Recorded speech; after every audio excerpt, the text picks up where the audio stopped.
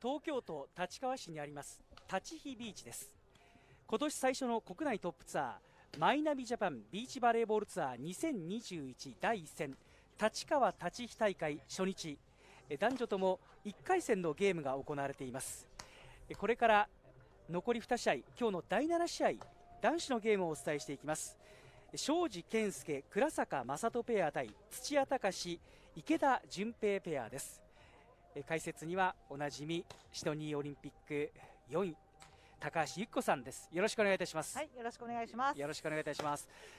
さて高橋さん、はい、え初日もですねもう第7試合まで来まして、はい、えっ、と今日ですね今、まあ、午後2時半ぐらいのですね、はい、気象条件が大体もう今立川で26度ぐらいあるんですけれども、うんはい、どうですかこのぐらいのコンディションといいますか？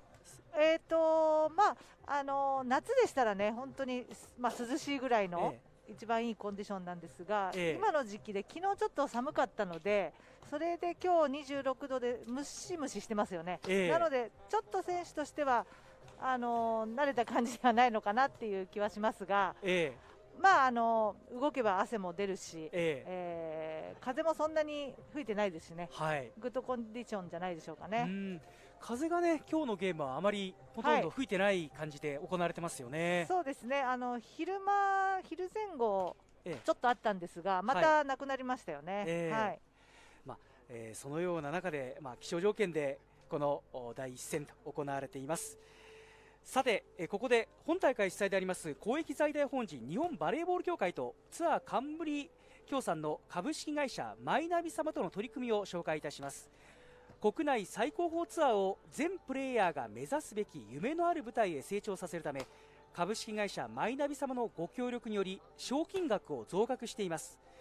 またツアーの競技レベルをさらに高めより世界につながっていく大会とすることを目指してマイナビワールドチャレンジプログラムが導入されました、まあ、これは株式会社マイナビ様のご提供によりツアーの前半年間それぞれのチームランキングポイント上位男女各2チームに国際大会へチャレンジするための支援としてマイナビワールドチャレンジ賞賞金100万円が授与されるものです。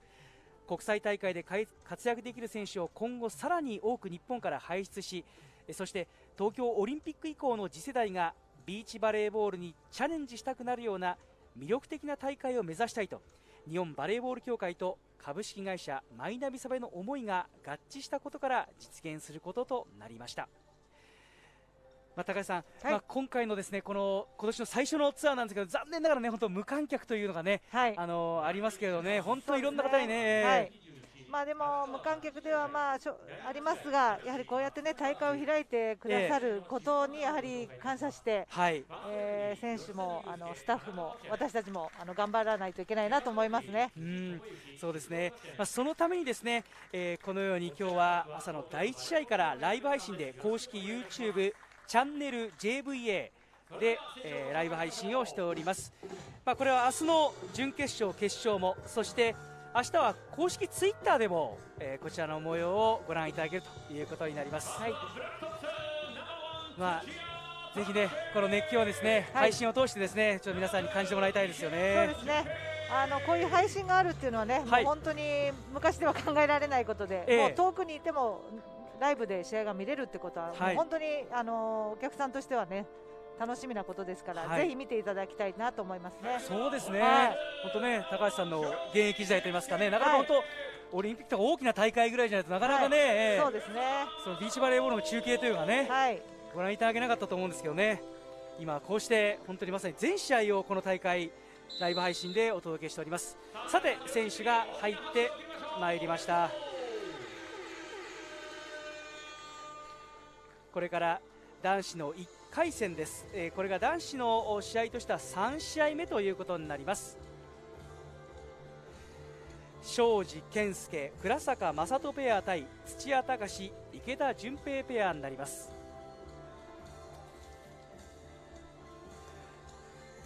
画面の手前今背番号1ボールを持っている庄司健介のサーブで第1セットが始まります。まずは庄司のサーブ。ナイスサーブ。はい。はい。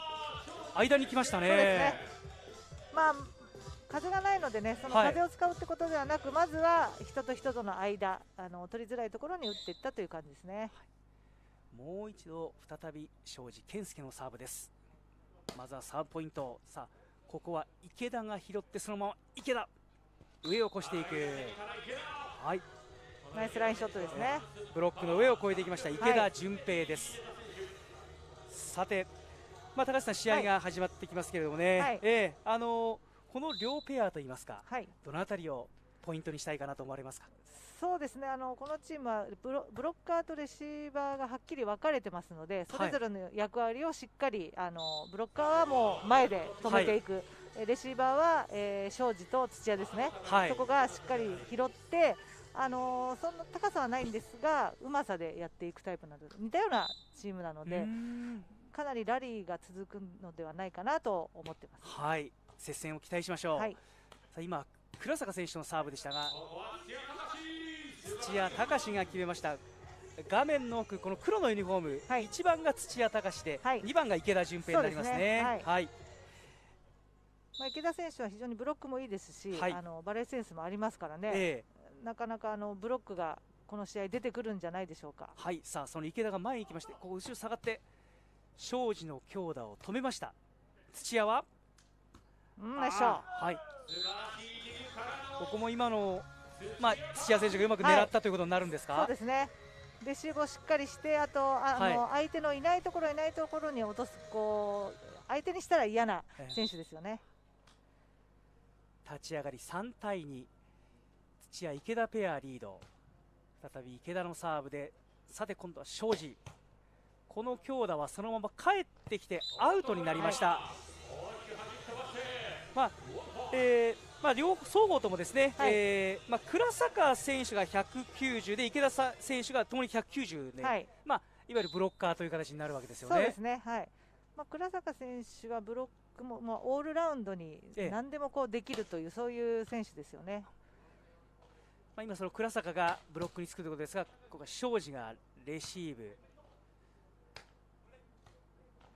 再び今度は池田です。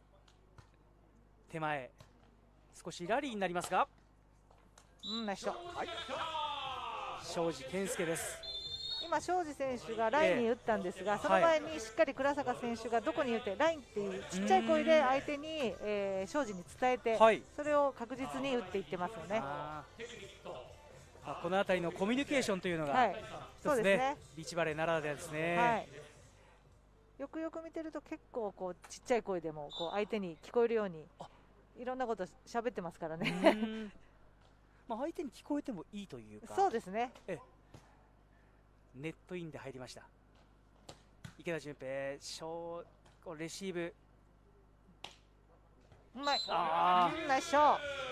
いや上を越えていきました、はい、いやまあこの両者なんですけれども、はい、まあ、実は2021年の、まあ、日本代表の前期強化指定選手に入っている、まあ、ペアあ同士ということになるんですかね。そうですね、えー、まあ、ですから練習場所もあの川崎マリエンといいまして、はい、えー、そこで拠点としてあの練習してますし、まあもう仲間みたいな仲間内のような感じなので、えー、お互い、まあ、やることはねやってくることがよく分かりすぎて、はい、結構こう試合するのは難しいんじゃないでしょうかね。その逆をついていかないとっていうところですかね。なりますかね。はい、まああのくしくもなんですけれどもね、あの去年の去年唯一行われたこのマイナビジャパンのねこの立川立ち引き大会でも1回戦で、はい、えぶつかりましたね。まあ、その時は、まあ、け結局接戦で、はい、まあ、勝ったのは土屋、はい、池田純平ペアだったんですね。ね。やっぱりもう接戦になるのは間違いないですよね、はい、お互いを知り尽くしてますんで。ええ、はい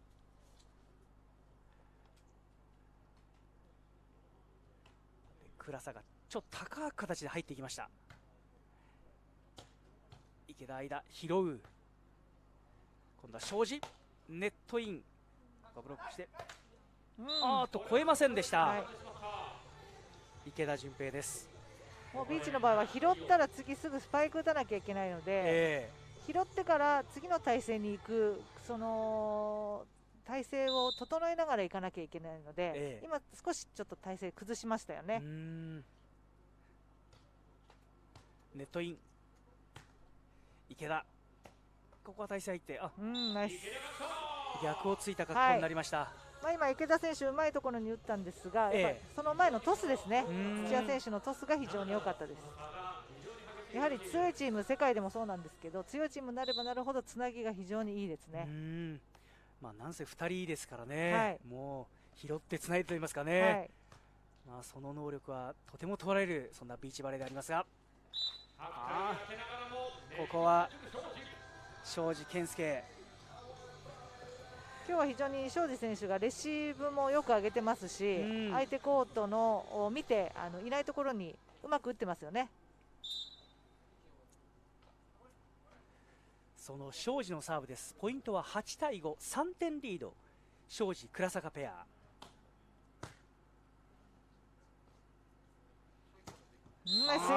角度ありますね。これはいいスパイクですね、えー、はい。まあ池田純平はまさにねもうインドアバレーでも、はい、まあ実績のあるねもう熊本の名門の鎮西から法政大学に行ってということでね。ね。えー、やはりもう型にはまるともうすごいスパイク打ちますから、はい、いかにそこの型にはまるまでのところをしっかりできるかですよね。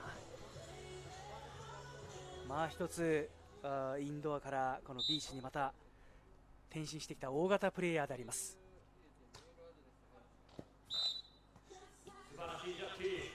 コートチェンジをしまして今度画面手前再び庄司とこの倉坂ペアに戻ってまいりました。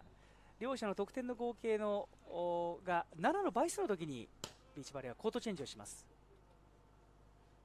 おいいトス。さあ。うんいいトス。ナイス。ナイス後ろから。はい。今庄司のトスですね、えー、微妙絶妙なところですね、やっぱり2人しかいないので、はい、ただ上げるっていうだけでは次につながりませんのでやはりいかに自分の体勢を崩しながらも次の人にいいボールを上げてあげるかっていうその思いやりの精神というかねそれがやっぱりあるとないとではもう全然球の質も変わってくるので、はい、まあ、そういうところがまあ強くなるチームとそうでもないチームの差になっていくのかなとは思います。いやまさにあの本当に庄司選手なんかはねあのお話ではね本当にビーチバレーになって相手の気持ちを考えないといいプレーができないというのを、はい、すごくなんか実感したという話をねあのされてますけどね。そうですね。えー、やっぱりこうパートナーをうまく乗せてあげるのが、はい、そういう役目だっていうね。そうですね。えー、まあ、自分さえ良ければいいではやっぱりだめなので、えー、相手があのー、ちょっとだめな時にやっぱりカバーしてあげる。で自分がだめな時にやっぱり相手にカバーしてもらう。そういうことが大事になってきますんで。まあ、究極のチームスポーツというか、えー、結構、うん、大変なことありますが、えー、そこら辺も面白いところですね、まあ、高橋さんご自身ねまさにこのインドアから、まあ、ビーチにね、はい、もう転向されてという方ですからもう実感といいますかね、はい、思いがこもりますよね。さあ少し風が吹いてあ今ちょうどねサーブ打つ時にいい風吹きましたね、えー、はい。土屋選手の後ろの方から風が吹いてきたんで、はい、風上に、えー、回転をかけて風にボールをぶつけて落としていくっていういいサーブですね。まあ、ビーチバレーの場合はこの風下の方が有利というふうに言われるわけですよね。はい。はい、そうですね片下から打つとあ急に落ちたり急に伸びたりしますので、えーはい、風上にいる選手はよりあのコントロールが難しくなりますね。なんかこう変化がついてしまうと言いますかね風で、はい、そうです。どうしてもね、はい。まあ、若干あのいわゆるインドアのボールよりも少し柔らかくなんかできてるってビーチバレーは。そうですね、ええ、あのそんなに変わりはないんですがやっぱりはい。あの皮の感じですかね、はい、それで少しインドアより柔らかい感じはあります。さて点差が少し離れました。12対6庄司倉坂ペアが6点リード。土屋ネットイン。ここは防ぎます。そして倉坂ブロック池田。いいカットをしました土屋。ラリーになります、うん、少し下がって拾う、うん、読んでるおっとあちょっとトスがね乱れましたね、はい、入りませんでしたね、はい、まあでも男子でこれだけのラリーが続くってなかなかないので、はい、やはりこう相手のやってくることがちょっとだいぶ読めてる感じですよね、お互いね。いやもう13対6、7点リード、倉坂のサーブです。ギリギリを狙ってきました。はい、いやもう本当にこの、はい、この8メートル8メートルのね、はい、あのそうですね。隅隅を狙う、そしてあのライン際ですね、はい、強くなればなるほどそういうところにボールが落ちていきます。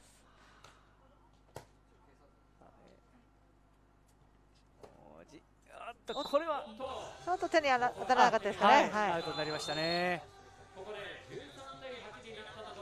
さて両者の得点の合計が21になりましたのでテクニカルタイムアウトに入ります。今13対8庄司倉坂ペアがこの第1セットリードをしているという形になります、はい高さん、どうですか、あの、はい、えあのまあ、両者、結構ね、知り尽くしている中の対戦だということなんですけども、はい、えまあ、お互いに拾ってるんですけども、庄司倉坂ペアの方が拾ったボールがしっかりそのトスがいいですよね、ですから、はいあのー、いろんなところに打ち切れてるっていう感じがありますね、はい。まああのー、土屋、池田ペアの方は上がってるんだけども、2本目のトスがちょっと乱れてしまったり、トスが短かったり、少し割れてしまったり、そこら辺で、えー、やはりそのギリギリのところを狙えていないという感じなのでそこら辺の差だけですかね、はい、だからやっぱりトスって非常に重要なんですよね。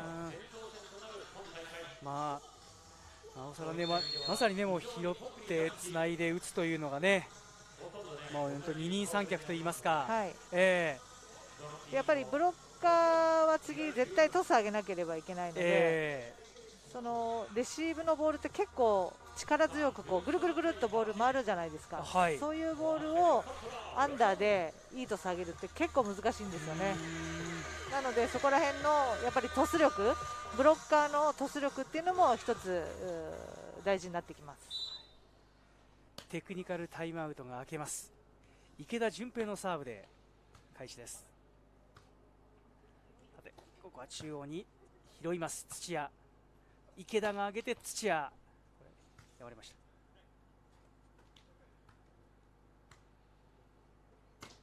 うんナイスそうだ拾いました。さあ池田のトスアップからあっとただじゃミートしませんでした。そうですね、はい、今コートの右奥を狙ったんですけど、えちょっとボールにね手が当たらずにというまあ狙いどころは非常に良かったんですがはい、はい、14対8です。第セット。リードは庄司倉坂庄司のサーブ。池田を前に出す。そうで池田。うんナイスまあ高さあります。そうですね、えー、ありますね。やはりもう助走を見れば大体いいスパイクになるかっていうのが分かりますね、はい、思いっきりこう助走できてしっかり最後の一歩が踏ん張れてるときは非常にいいスパイク打ってます。はいここは庄司です、まあ、庄司は183センチとまあ、非常にスパイクの、ね、威力のあるプレーヤーでありますよね。はい、そうですね。まあ、庄司選手も大学時代から知ってるんですけど、えー、大学卒業1年目かな。もうちょっと細かったんですけどね、はい、すごい体ががっちりして やはりトレーニングの賜物といいますか。かなりね5点差です。15対10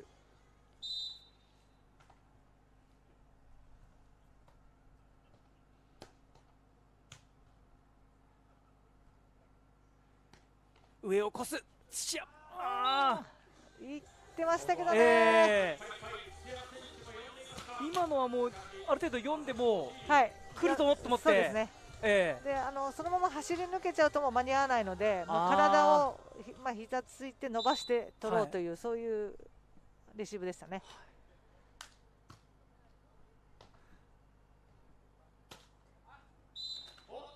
おっじゃあアウトですか。なかなか、はい、ええ、遠いんでなんか入ってるように見えましたけど、まあラインズマンがアウトなんでアウトですね。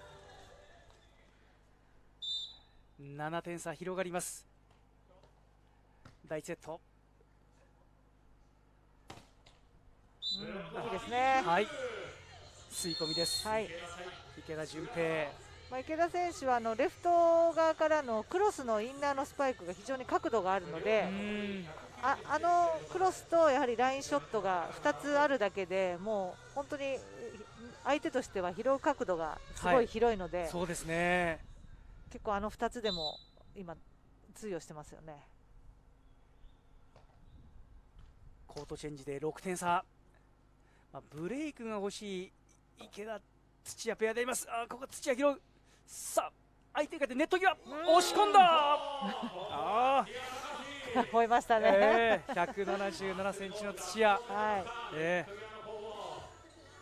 ー、意外とああいうネット際の押し合いってちっちゃい選手のが強いんですよ、そうなんですか、はい、な私も結構ちっちゃいから強かったんですけど下からこう押す方が強いかもしれないですね。上でこうやられるより。はい。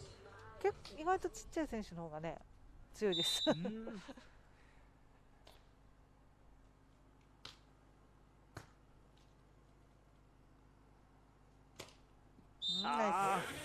ここはインナーに庄司であります、はい、あそこに打たれると次レシーバーがあのボールを拾いに行くとなると少しコートの右側にいなきゃいけないので、えー、そうなると今度ラインショットの幅が広くなりますんでね。あのいいところに打ってますよね庄司。再び6点差。第セットリードしている庄司倉坂ペアでありますが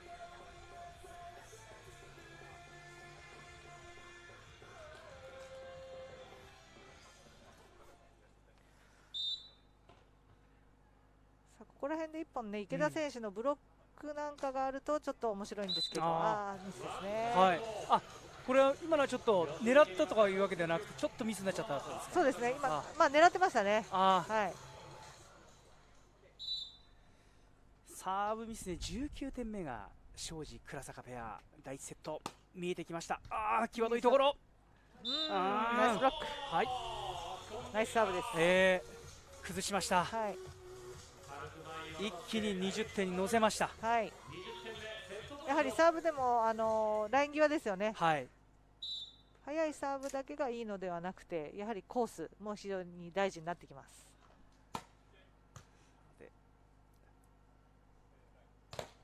ブロック。おっと、前を狙ったんですけどね。えー第1セット結局21対13で庄司倉坂ペアが取りました、まあ、高橋さん、まあ、中盤からですねちょっと差はい、差がねちょっとつつき始めたと言いますかね。そうですね。やはりそのトスがちょっとぶれたりするっていうミスと池田、土屋の方は、あと、えー、やっぱり今のような最後のショットがミスしてしまったり、まあ、サーブ、やっぱりミスちょっとミスですね、相手にやられたっていうことではなく、中盤からちょっと自分たちのミスで、えー、このセットを失ってしまったという感じなので、まあ、これはこのあのセット間に話をして修正するしてくると思います。はい。まあ、あのくしくもなんですけれども、はい、まあ、前回の、ね、10月のこの立川大使県のマイナビジャパンツアーでも、はい、まあ、最初のセットは実はあの庄司倉坂ペアが取ってるんですよね、はい、まあ、要はひっくり返してした、はい、あの土屋、池田ペアではありますからね、そこはまた巻き返していますか。そうですね、えー、まあ、えー、なんせ男子に関しましてはね、あのまさにあの2週間後の東京オリンピックの代表決定戦に出場する、はい、まあ、全6チームがですね、はい、この大会に今回エントリーしてますんでね。はい、そうですね。まあ前哨戦と言いますか、はい、やっぱりこの時期にどれだけ自分たちのチームができるのかっていうこともありますし相手が今どういう状況なのかっていうのも見極める大会でもありますので非常に重要な大会ですよね。はい、第2セットに入ります。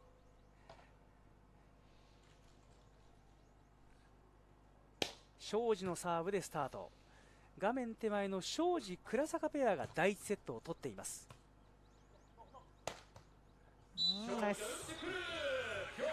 背番号1庄司健介です、31歳。まあ、今、レシーブも良かったんですけども、はい、今、倉坂の選手のブロックの位置も非常にいいんですよね、ですからここに打つしかないというところに打たせているブロック、止めはしないんですけど、その場所を相手に見せて、ええ、ここはいるよという、そういうブロックですよね。ネットインですからインドアのようにもう全部をとが止めに行くブロックではなくて、ええ、ビーチバレーの場合は1枚しかないので、はい、このコースは自分がいるので打たせるというブロックもありなんですよね。止めに行くブロックもありますけれども、はい、まあ、2種類ありますよね、まあ、あえて開けてると言いますか、はい、はい、またそこをまあ拾えばいいわけですよね。はい、あまあ、そのあたり、本当にまさに、まあ、2人でコミュニケーションを取りながら、はい、まあ、戦術といいますかね、ね。考えがあるわけですよね。はい、土屋のサーブです。そして2番の池田純平。ブロックかけて、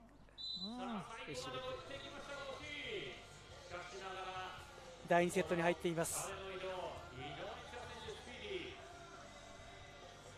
まあ、土屋選手、今拾えなかったんですが、ええ、だいぶこう触るようになってきましたんで、うん、決めた方も触られるとあのちょっと嫌なので、気分的に。ええ、あそんな中で倉坂のサーブポイント。連続得点を許しません、はい、庄司倉坂。庄司倉坂ペアは、まあ、31歳同い年のこの、ね、ペアという2人でありますナイスショット、はい、ブロックの上を通しました土屋隆33歳です。あのラインショットの打つ角度がやっぱり微妙にあの難しくて、はい、低い弾道でいってしまうとブロックかかるしと。やっぱりそこは練習で培ったショットですよね。そしてサービスエース連続ポイントきました。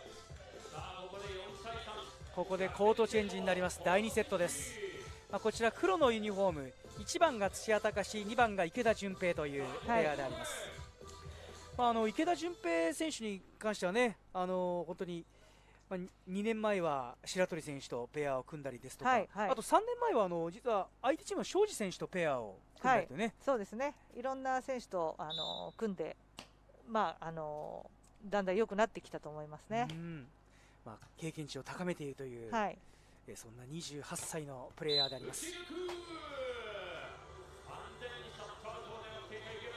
この得点は4対4です。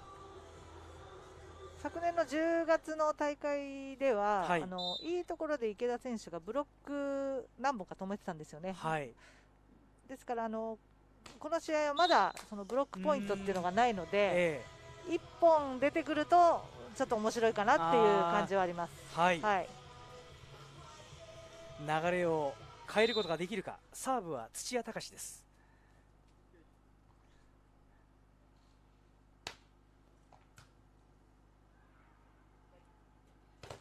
あ出ましたね。いや予言者ですね。ちょっとちょっと。聞こえてたのかな、えー、いやもう大先輩のちょっとナイスブロック。声がですねはい。届きましたね。そうですね。しっかり沈んで相手をがどっちに飛ぶかわからないようにしてこうスパンと飛ぶ。すごいいいブロックでしたね。あここもナイスブロック。池田の壁。はい。ここで2本出ましたから結構乗ってくるんじゃないですかね。はい。あタイムアウト取りますね。はい。この辺りは庄司倉坂も、うん、一つ流れを変えられうるポイント。でタイムアウトを取りました。そうですね、えー、まあ点数的にはた早いタイムアウトですけど、まあ、ここで離されちゃうと厳しいんで、はい、いいところで取ってると思います。はい。まあ、当然ね、え前回のこの立川立ち大会、去年の10月の時に、まあ、逆転負けを喫したというのもね、当然ね、はい、えー、ありますからね。まあ、しかもその時はまさに池田選手のね、そうですね、ブロックポイントがあってから、ポポンといかれてたと思うんで、はい、ちょっと意識し始めましたからね、はい、ここは土屋池田ペアは、ここで乗りたいですよね。はい。まあ、2週間後の東京オリンピック代表決定戦、まあ、第3シードが土屋、池田ペアで第5シードに庄司、倉坂ペアということで、まあ、そういった大きな一戦も控えている中でのこのマイナビジャパンビーチバレーボールツアー2021立川立飛大会。タイムアウト明け。庄司。上を行く、同じでは食らいませんでした、はいもう今なんか庄司選手はあの、まあ、ブロッカーも意識してましたけども土屋選手がどこに動くのかっていうのとあの対決してましたね。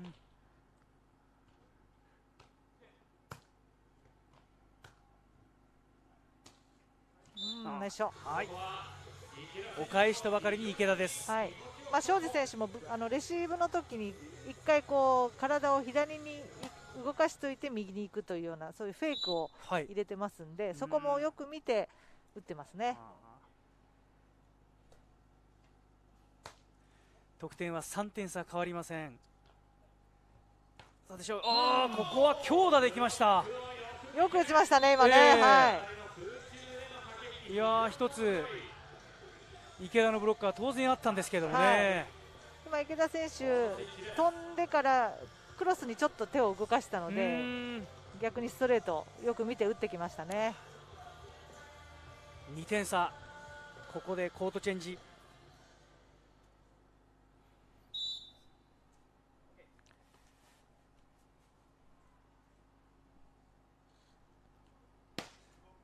庄司のサーブ。池田クロス入った。あ入りましたね、ね、ネットインで、はい、いや庄司思わず苦笑いでありますが、ね、まあ池田選手もちょっと大ラッキーっていう ちょっとほっとしてるんじゃないですか。流れをつかみつつあります。土屋池田ペアです。第2セット。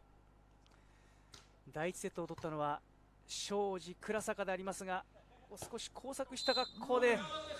あ倉坂アウトですちょっと庄司倉坂ペアにもミスええ、ミスが出始めてきましたんでね、はい、ここはまあ修正しないといけないですね。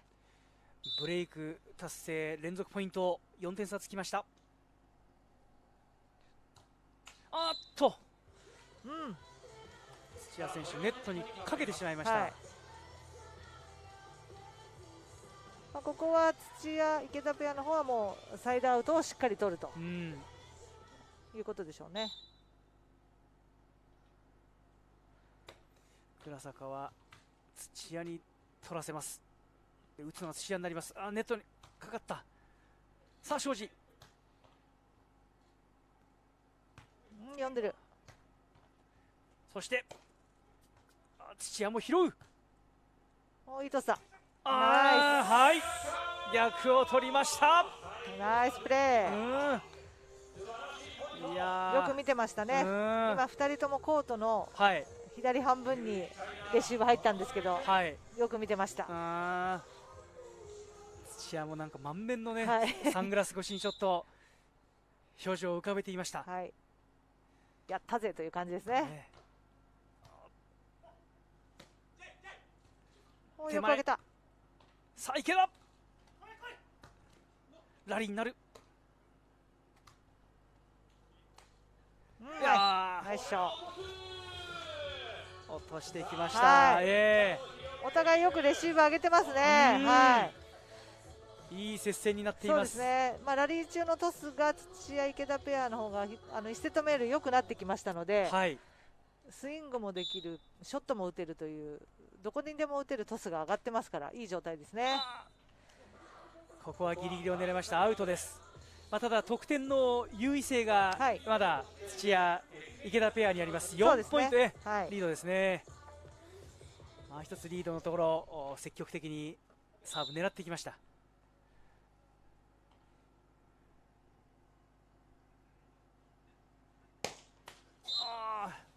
ネットにかかってここは互いにサーブミスというところテクニカルタイムアウトに入ります。13対8土屋、池田ペアリード、はい、さて高橋さん、ちょっと第セットとね、あのー、雰囲気といいますか、変わりましたね、えー、はい、変わってきましたね、はい。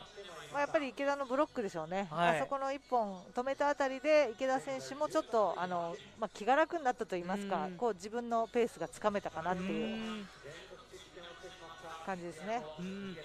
まあ、やはりあのブロックっていうのは本当にバレーの一つ花形といいますか、はい、まあ、なんか流れをこう変えると言いますかね。そうですね。あのー、ま、流れも来るし、やっぱりやられた方が非常にダメージが大きいので、次のスパイクどうするかって非常に迷いますし、じゃあどこに打っていこうかっていうふうな迷いが多くなるとやっぱりミスも出てきますんで、んブロックっていうのは本当にあのー、一つのすごいあのー、アイテムですよね。まあ、一つこう相手に、まあ、1点以上の,、はい、価値あのダメージを与えられるそうですね。そんなプレーになるわけですね、はい、それ2本連続でやりましたから。今、土屋選手が解説の高橋さんにねサングラスを取ってね。挨拶してくれました、はい、さあ第2セット。有利にゲームを進めている土屋池田ペア。テクニカルタイムアウト明けここのブロックはアウトになりましたがまあ、アウトになりましたけど、場所えー、場所ですとか、えー、タイミングですよね、えー、合ってきましたんで、そうですね、はい、動きも良くなってきましたね、池田選手。あわよシャットアウトできるかのような、はい、そんな壁でありましたが、ポイントは13対9、土屋池田リード。でここで池田が丁寧に上げて、あナイスカット。はい。いや土屋が躍動してきました。そうですね。土屋選手はやっぱりあれ乗ってくるともう爆発的にいいプレー出てきますから、はい、まあ、庄司倉坂ペアはそれを出させないようになんとかねしたいですね。はい。再び5点差。うまい。うまく抜いていきました、はい、庄司健介です。庄司選手もあの空中でいろんなプレーができるようになったような気がしますね。あのあのままクロスに打つんではなく今のように少しストレート側に切ってみたり、まあ、対空力というかそういうものがあのできたんですよね。土屋が上。ナイスショ庄司届かず、はい、いや第1セットは変わって、はい。えー、もう大体ショットがあのラインから、まあ、50センチぐらいですかね、はい、中ぐらいの場所にほとんど落ちてますから、やはりそういう時っていうのはあの相手も見えてるし非常にあの調子がいい時ですね。5点差。ここはシャーとネットを越えませんでした、はい、まあ、やっぱりブロック意識しましたよね。まあ、今のは止めてはいませんけど池田選手のブロックポイントと言ってもいいですよね。やっぱりかなりプレッシャーかけてますから。はい池田の真骨頂と言いますかね、はい、非常にこの良さを存分にコートで発揮し始めましたこの第2セット。再び6点差。ここも庄司と池田。庄司ここはクロスに打ち抜いてきました。土屋対応いいネット際。押し込みは。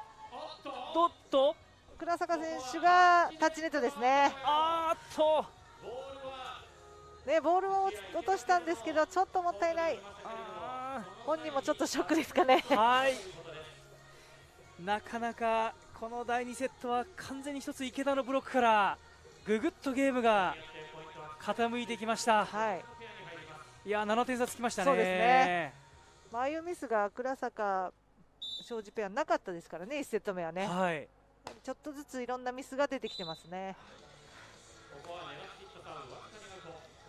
さてコートチェンジ。まあ、6点のリードがある画面の奥の土屋、池田ペアであります、一方、巻き返し。この第2セット。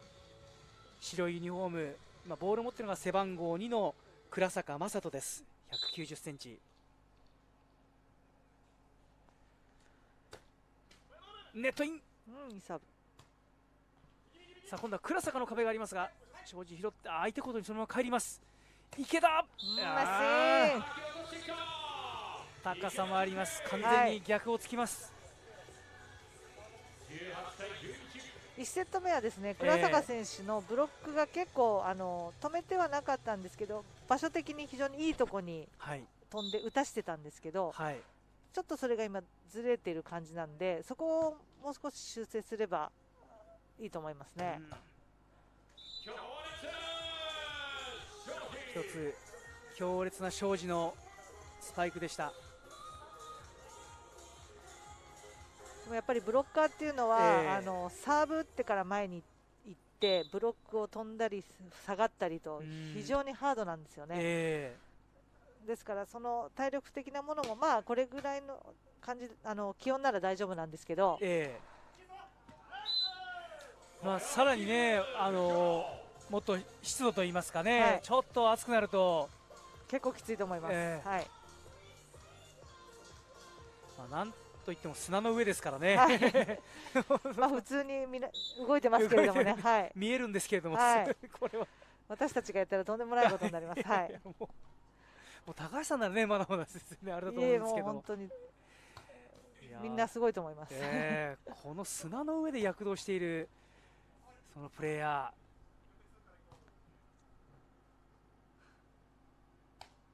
ー。あ読んでる。ここも読みました。おまいおーナイスショー。庄司も届いてはいたんですが。土屋選手ナイスカットショット、はい、いやなんかこうアウトにこうなんか切るみたいななんかそうですね。なんかなんか逆手って言ったらあれですけど、はい、最初はこう、ええ、右側を叩こうと思ったんだけど最後にちょっと切り替えたって感じですよね20点目が土屋池田ペアに入りましたセットポイントですそしてブロックこれは超えませんでしたけれども確実に池田のブロックがそうですね第2セットは、はいえー、相手が打ちや打ちづらいところに飛んでますんで、はい、非常にプレッシャーは与えられてると思います。20対13池田、ナイスカットショット。はグーで決めていきました。21点目が入りました。第2セット取り返しました。土屋池田ペアです、まあ、21対13ということで、まあ、スコアとしてもですね互いに本当イーブンでですね、本当ですね、えー、いや3セット目おも楽しみですね。はい。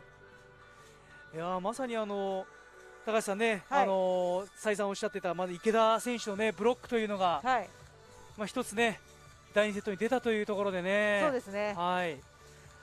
なんかもしかしたら1セット目はあんまり止めないように逆にしてたんじゃないかっていうぐらい戦術なのかもしれない。ちょっとそこら辺はちょっと聞いてみないと分かんないですけども、はい、1セット目は自由に打たせておいて2セット目は得意なコースをもう本気でいくっていうか、はい、そういうことも少しはあるのかなとちょっと今思っちゃいましたけども後で聞いてみたいもんです。そういう戦術といいますかあるんですね。のかもしれないですよねでもねあの言ってしまえば3セットゲームですから、はい、あの結構1セット落としちゃうと結構なかなかねあの後がなくなっちゃうんでね、はい、結構なかなか、はい、もしねあのー、これ厳しいなと思ったら、そういう作戦に変えても変えるっていう手もありますよね。なるほど。いやまあ怖いですけど。いやいやいやいやいや。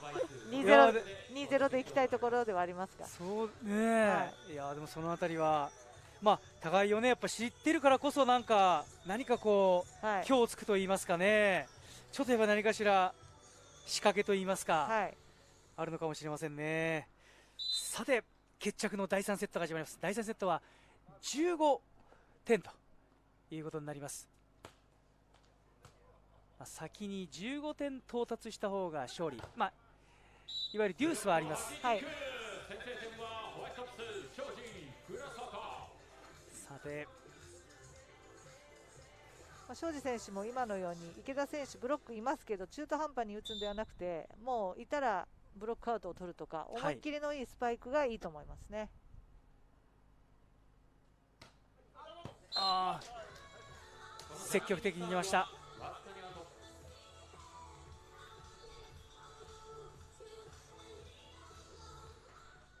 少し風が吹いているので、はい、まあ、池田土屋ペアの方はちょっと風下ですかね。まあ気分的には風下にいる方が結構楽なんで。風上になっている庄司倉坂ペア。再びネット際。ああ池田の手が。上を行きましたかあタッチネットですかね？いや審判は何も言ってないので池田土屋ペアのポイントですね。でよろしいですかね？はい、はい、まあ、池田選手が先に触って相手コートに落としました、はい。はい、一つ第2セットブロックポイントからゲームの流れをぐぐっと引き寄せました。背番号2池田純平のサーブ。ああここもブロックいやいいブロック。はい。もう完璧でしたね、えー、ね。もうあのトスがちょっと近かったんですかね、ここからよく見えないんですけど、えー、もうそうなったらクロスだろうと、もう空中でクロスに手を動かしてたんで、もうあれはもうブロックの読みですよね。はい。もうたまらずと言いますかね、ここはね、はい、タイムアウトですね。そうですね。15点までなんで、はい、まあ4点差がつくと結構きついんでね。はい。もう早いうちにタイムアウトはいいと思います。さてそうなると庄司倉坂ペアとしてはここはどうですね？そうですね。まあ、あの庄司の方にサーブが来ることはもう分かっているので、はい、まあ、倉坂選手が、まあ、何かツをするとか、はい、トスがちょっと今近づいていると思うんですよね、えー、なのでもう少しトスを離して庄司にあのスパイクとショットと両方打てるようなトスをしっかり上げるっていうことが重要ですね。一つコンビプレーで打開できるか第2セットで完全に流れをつかんだ土屋池田ペア。3対12点リード。第3セットです。池田のサーブここも庄司、はい、さて倉坂上を行くが土屋は読む。読んでる。取れます。土屋の強打はアウトです、ね、アウトになりましたね、はい、ネットにかかってアウト。ここは一つ庄司倉坂救われました、はい、ちょっと今打点が下がっちゃったのかな、はい、あのなのでネットに当たってしまって転がって落ちちゃいましたけどね。はい1点差第3セットは5の倍数でコートチェンジになります。ここでブロブロックワンタッチ欲しい。アウトだ。はい。アウト。ここは倉坂の、はい、いいブロックでしたね、えー、圧力が効きました、はい、しっかり飛んで高さを出して、はい、ああいうハイラインショットを打たせるっていう、まあ、ブロックだったんですけどいいブロックでしたね。うまくアウトに持ってきました。並んでいます。3対3土屋に打たせる。おっと倉坂対応。あ前に帰りませんでした。ちょっと倉坂選手焦っちゃいましたかね。ブロック飛んでからのあの、えー、後ろでね、えー、やっぱしっかりちゃんと持っていかなきゃって思いが強すぎて少し強く当てちゃいましたかね点差は1点。第3セットです。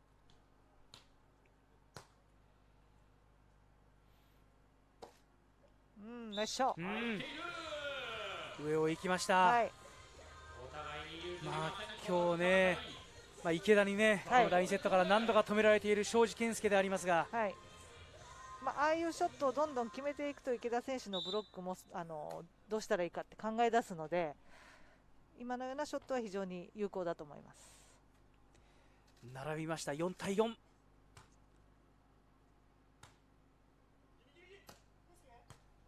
対応する。そして庄司。池田が飛ぶ、ナイスライン。少し表情が豊かになりました、はい、今ねレシーバーの庄司選手がラインに走りたかったんだけど我慢してその場にいたんですよね、ええ、だから土屋選手は逆にここにあのクロスに打ったんですけどもう庄司選手のレシーブポイントですね。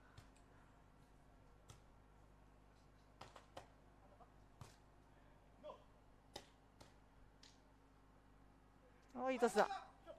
拾う。ラリーになっています。ここはノーブロック。ああナイスはい。いやこのラリーを取りましたね。いや今いいスパイクでしたよ庄司もね。はいこの間インドアで見た大塚大塚君じゃなくて、えーと、日体大の選手の高橋高橋藍君みたいなスパイクでしたね、えー、いやいいスパイクでした。まあそれをねこの砂の上でね、はい、やってるわけですからね。6対4庄司倉坂ペア2点リードになってコートチェンジ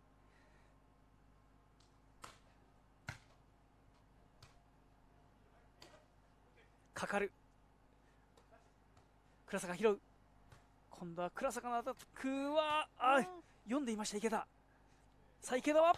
強打。高い強い。いや池田選手も今フェイクしてね、ええ、うまくそこに倉坂選手そこに打たせましたね。大接戦になっています第3セット6対5これブロック出ると面白いんですけどね。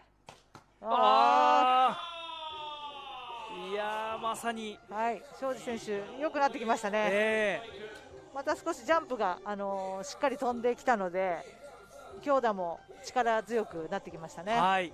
終盤に来て持ち前のガッツが生きてきました庄司健介。2点差リード倉坂のサーブです。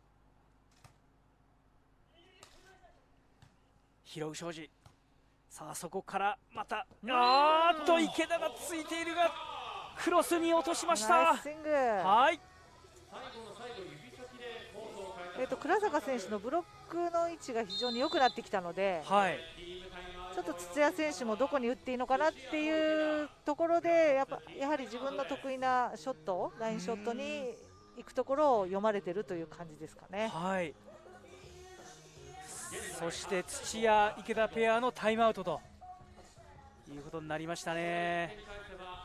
まあ、3点差つきました、8対5、はい、まあ、3点だとまだ、えー、ちょっとわからないですね。はい、はいまあ、となると次の1点ですね。次の1点は結構あの大きいですね、9号になるのか8、6なのか気分的に全然違いますんで、はい、はい、まあ、しかも第3セットは15点選手というね、はい、えー、お尻が短いですからね、はい、なおさらここは土屋池田ペアタイムアウトということになります。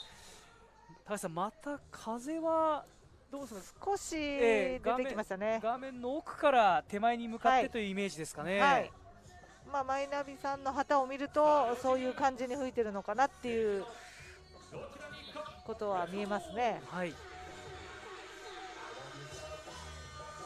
タイムアウト明け、まあ、風上若干風上の倉坂サイドからさサーブ入りました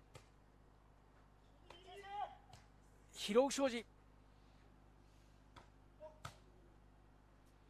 さて池田はあうん高い。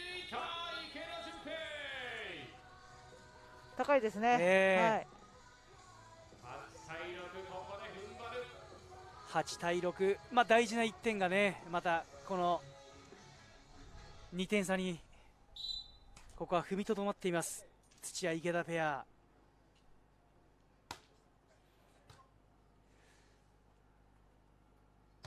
ブロック入りましたナイスブロック終盤に来て、はい池田のブロックポイントですね。そうですね。はい、この一本は結構大きいかもしれないです。はい。ブレイク達成。いや連続ポイントで再び1点差。はい。いや高橋さん。次の一本ちょっと大事ですね。えー、はい。まあ庄司選手がどこに打つのか。と池田対庄司という感じですかね。やはり拾うのは庄司そうするとここで打つのも庄司になってブロック池田ですが土屋拾えます。そうですね。さて今度は倉坂ですが上はアウト。いや 倉坂選手はちょっとラッキーって感じでしたね。9対7リード2点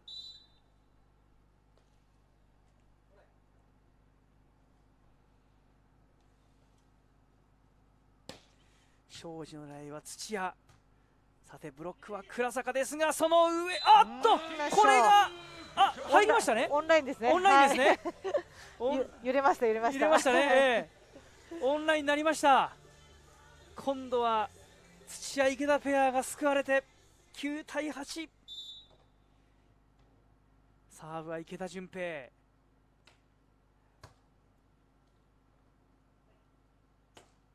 ブロックかかった。おおナイス。土屋酔うそのままダイレクト。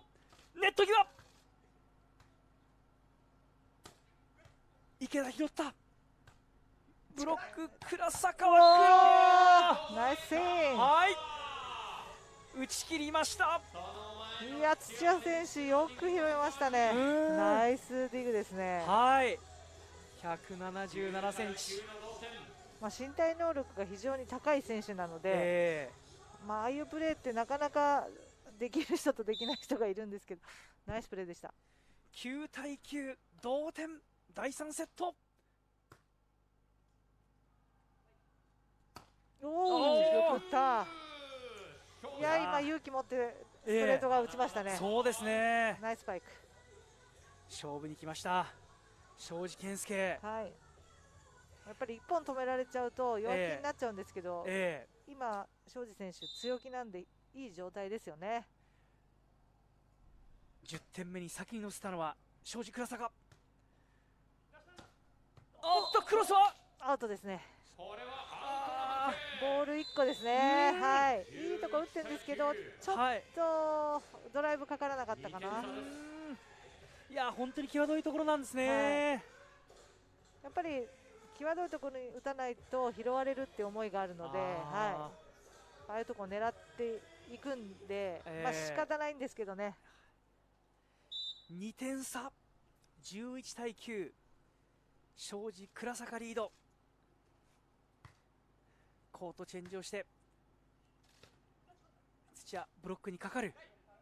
ネット際。池田はあ角度があります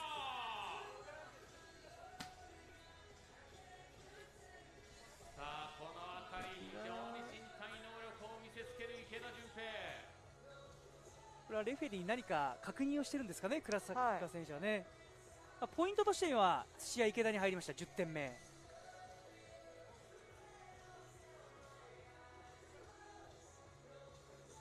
1点差です、1点差。ネット際の攻防。はい。やっぱ男子は高いですから空中戦ですね。1点差、11対10、まだ分かりません。いやここで再び庄司、はい、よくジャンプしてきましたよ、えー、後半になってから。真っ向勝負。さあここ、えー、土屋池田はサイドアウトしっかり取りたいですね。サーブミス。さあどちらが取る？まあ、ここでサーブをこうチャンス入れてしまうとやっぱりやられてしまうんで、はい、何かちょっと仕掛けてはいきたいところなんですけどね。えー、クロス。あそのまま帰るもう一度。